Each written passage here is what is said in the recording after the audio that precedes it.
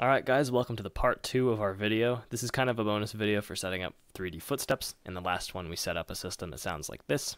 When we press play on our animation, when you get closer or farther away from the character, the 3D footstep sound will take place and you'll be able to hear it in the spatial field.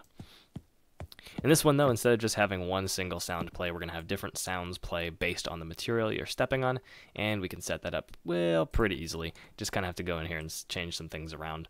Uh, this is the notify system that we created in the last one. We're going to change this up just a little bit to make sure that we're getting the right physics material, and we have to set up our sound cues and physics materials, and otherwise that's probably all it's going to be. So I'm going to create a new folder in my materials category. I'm just going to call it physics materials. You can put this wherever you want. And we're just going to go under physics and create a physics material. This one's going to be called concrete. I'm going to duplicate this and we'll call this gravel. And you can set these up for all the materials you have in your game. Uh, there's, you can have as many as you like, but I'm just going to do two for this case. And these two things will serve as names for what the character is actually stepping on. So how are we actually going to calculate this? Um, the best way that I like to do this is to actually use line tracing. So we're actually going to line trace once the notify function runs, we'll line trace from the center all the way down to underneath where the feet are stepping on. And once it hits a material, we'll ask what that material is. And whatever that material is, we'll set it as a parameter in our sound cue and then play a said sound. So to do this, we're just going to go into, well, we already have our world location. So we'll just type line trace by channel. And our starting point will be the world location, and our end point will be below it a little bit, I guess. So I'm just going to subtract a vector. We'll subtract the z value of maybe 50, and then we'll plug that in, and we'll see what that looks like. We'll set up our draw debug for 5 seconds, and I don't know if you can actually see the draw debug happening in the actual animation. Oh, you can. Okay, that's helpful. so that's what it looks like. So when you're stepping on something, it just asks what it's actually stepping on, and then we'll figure out what to do from there. Our actual hit result, we'll just break this and find out some information about what we're actually hitting. And we want the physical material, so we'll just type get display name, and we'll see what actually that looks like once we actually print this. So from here we can actually get the name of what we're stepping on. We'll just switch this in the sound cue using a parameter. And this is going to be kind of changed up a bit. I'm going to go back to my sound cues and we'll just create a footstep cue just generally for everything. Under sounds, create a sound cue. We'll call this the SC underscore footsteps. This will kind of be the generic footstep noise we use for everything. I'm going to use my modulator, which I actually like. Uh, I kind of like this because it just changes the sound a tiny, tiny bit. You could change the volume or the pitch, and it's it's nice to have. I'm going to copy my footstep sounds for concrete, and I'm just going to call this concrete. And then for the other material, we have gravel. I'm just going to copy and paste the same thing. Copy that, paste it, call it gravel.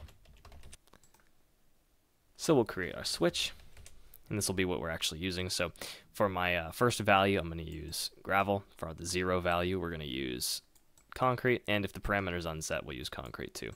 Since we don't really have any others, we're just not going to do any here, but if you have more stuff that you want to stack up down here for other physics materials, you can go ahead and just add them here too.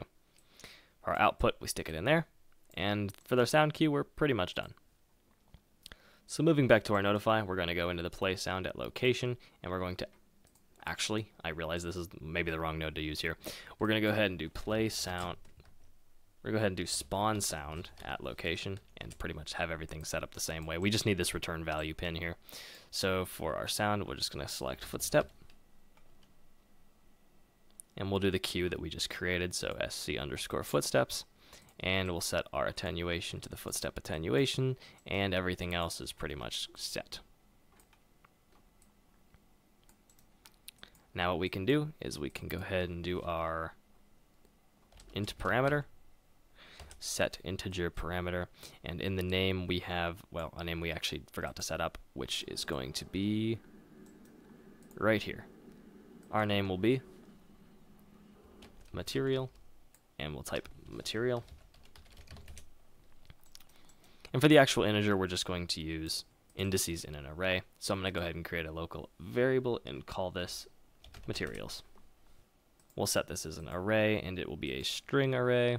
And from here we will find item and we will find the display name of the physics material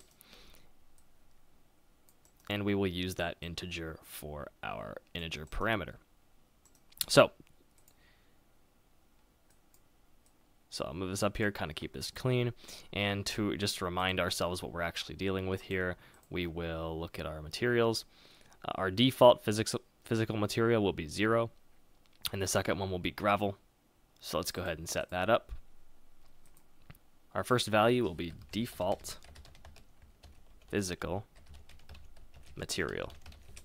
And our second one will be concrete. And our third one will be gravel. So if you kind of see how these are set up, we have 0, 1, and 2. Just like right here, we have 0, 1, well, technically 0, 1, and 2. If we want to make it a little bit more easy, maybe we'll just do this for ourselves. Uh, there we go.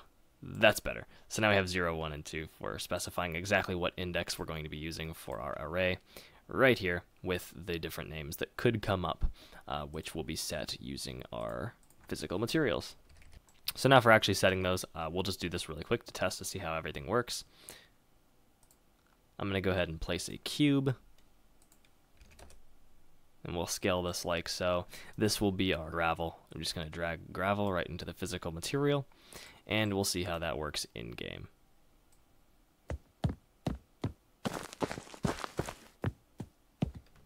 Awesome.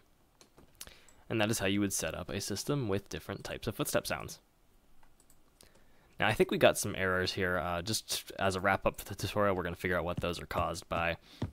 Probably just something I set up wrong. Uh, I have, yeah, 10 errors right here, just for a different, I guess, just received nothing in the set integer parameter. So to fix this, typically what'll happen, we'll just find out where it's actually getting that. So it's the return value on the sound at location, which is right here. This is invalid, or it's coming over at least as invalid. Uh, so what we're going to do, just to make sure everything is fine, we'll just check the validity by typing is valid. And we'll just use this macro really quick to wrap everything up. That might have been caused by the server. I'm not entirely sure exactly what the issue there was, but sometimes it just won't pick it up.